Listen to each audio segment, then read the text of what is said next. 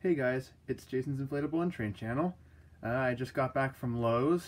Uh, it's December 26th today, and everything was 75% off, so I think you guys can guess what that means.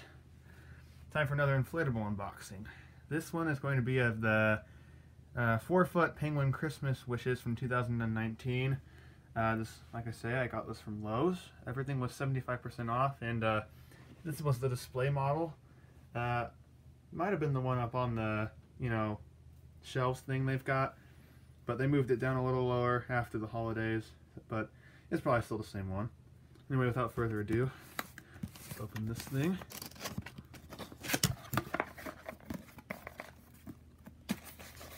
Here's the plug already screwed on, and the adapter. Uh,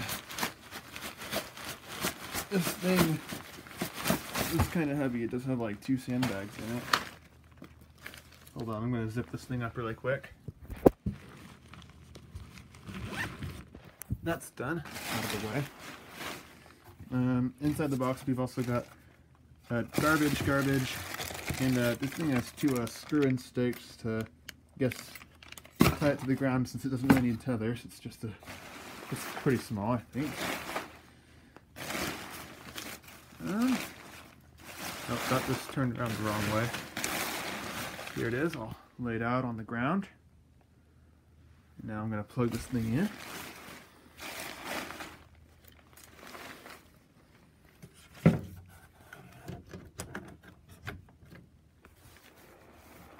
I don't know where the fan is on this. Oh, that on the... Okay, it's on the back. I thought it was on the bottom for a second. Fan sounds a little weird. Well, sort of. Yeah, that sounds better. Alright, here he is. I think it's four feet long. This does not look... I don't know, maybe it's about like two or three feet tall. Um, here's the letter. That's the only, that's the one thing I don't like about this. I mean, on the box, we compare the box to the inflatable, if I can get that right.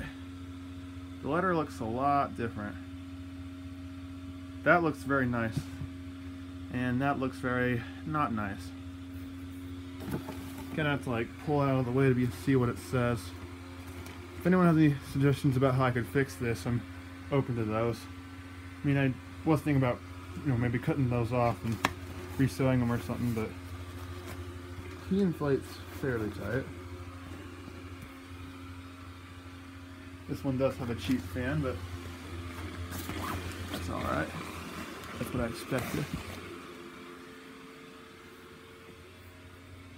Yeah, so this was 75% off in the display model, so I got this for about 10 bucks. But I think it's a good deal. Now let's see them with the lights off. Now, this being the display, that's like, that LED is like basically dead, I think. That one's still working pretty good, but only problem with displays, uh, sometimes you'll get them and like a Flaming Quovita put it, the LEDs will be shot. Like, that one's gone. That one kind of works. Kind of like my other Penguin inflatables I got off display.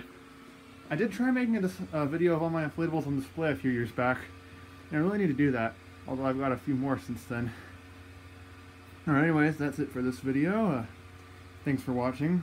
If you enjoyed this video, please feel free to give it a thumbs up and subscribe for more like it. Um, and also a Merry late Christmas to everybody. Hope you guys are enjoying Christmas break. And, uh, okay, I know I said the Soldier was the last inflatable I was going to get, and I was planning on it, but, uh, yeah. So I'm not trying to lie to you guys. I just wanted it to be, but I guess it's not. Anyway, see you guys in the next video. Bye.